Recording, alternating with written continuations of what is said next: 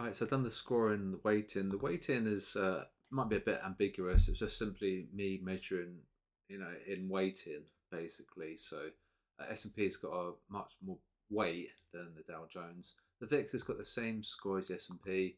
The Asian European indices have got a lower score because of the weighting, and so currently we're uh, scored out of 100 and we're 69 out of 100 so i'd say over 50% over, yeah over 50% would be bullish.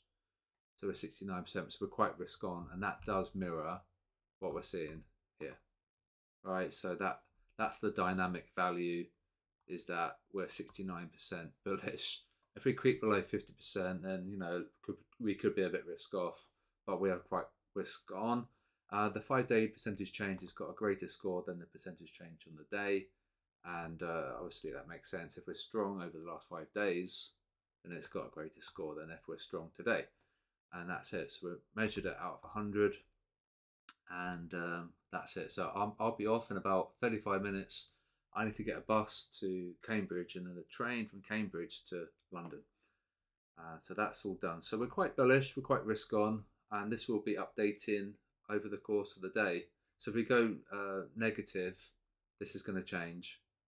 And uh, if the VIX really spikes for whatever reason, we'll see that change, right? So this will be reflected on the QDB scores. And I just need to make this dynamic cell somewhere around here. So it's easier to see.